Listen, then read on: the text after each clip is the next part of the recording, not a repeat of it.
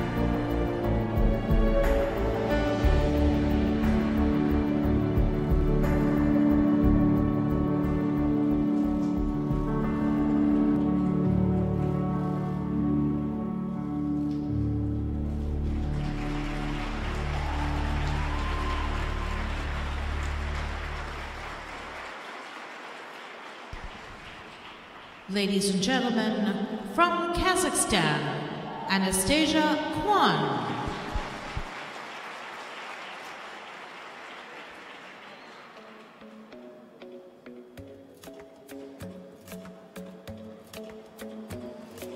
Club isn't the best place to find the lovers, so the bar is where I go.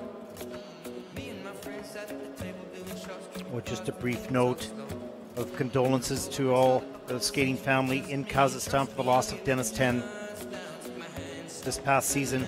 Such a beautiful skater.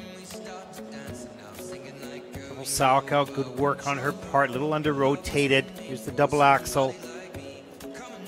Doesn't get all the way around. Back on the heel on the landing. Three legs stuck forward, but good effort. Here's the double left double toe. This was nice. Little slow between the two jumps. You want to keep that momentum backing you up, not around the corner. There's the Double loop, double loop. That was nicely done. Good rhythm, soft knees. Here's the double Lutz at the end of the program. Hands over the head. Good. Adding a little bit more speed and flow. It's going to carry element a lot easier on the takeoff through the air and on the landing. There's a nice side position, always to the back position.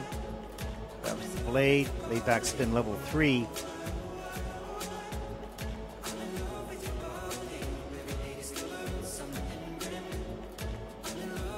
Nice work by Anastassiya here today. Hi everybody!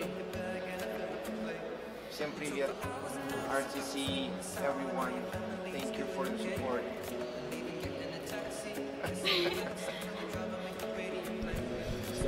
The scores, please. Anastassiya Khvan from Kazakhstan. Three program scores for Anastassiya 58.34. That's first so far. With a total score and a competition of score of 94.89.